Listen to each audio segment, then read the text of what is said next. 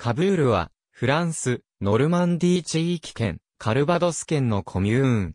カーンとドービルの間にある、ノルマンディ海岸の町である。ペイ同樹地方の海の玄関でもある。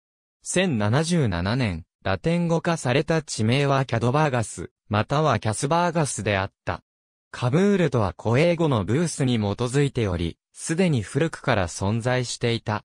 アングロスカンディナビア人が移住した10世紀、または5世紀から6世紀に、バイユー周辺に、サクソン人が定住した際にすでについた名であるとする。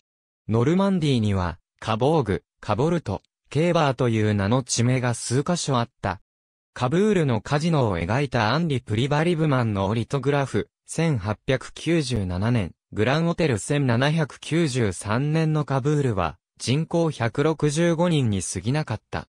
コミューンは、首都して、ティベット川と合流する、北、ディーブ川近くで発展した。居住地は二つの軸に沿ってなされた。一つは、川と平行になった土地、カーンからディーブ川に向かう道路の南である。教会は南西に他から孤立して立っていた。コミューンの北にある砂丘地帯は無人だった。19世紀から人口が堅調に伸び、1866人には718人となった。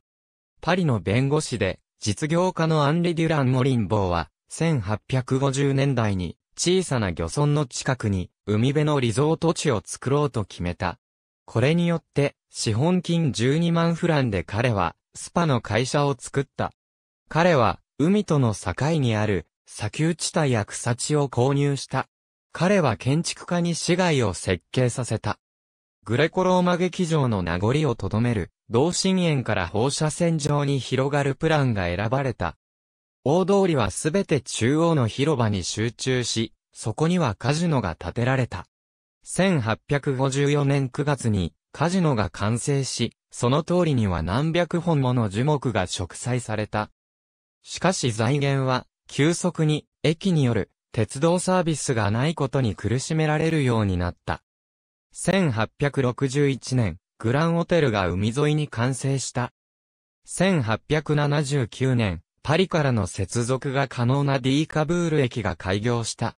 1882年から1884年の間にドービルへもつながった。1870年代の短期間の人口減少の後、流行の海辺のリゾート地となったかつての漁村で、急速に人口が増加した。1946年には3479人に達した。1950年代に急速な人口減少に転じたが、観光政策が促進された1970年代から復調した。ノーティスカームナーレカボーグ。サイトウェブテンプレートでは、アクセスデート、イコール引数が必須です。リガードシュールカボーグ、150アニベルセルデラステーション、バルネエール。2010年11月2日閲覧。ありがとうございます。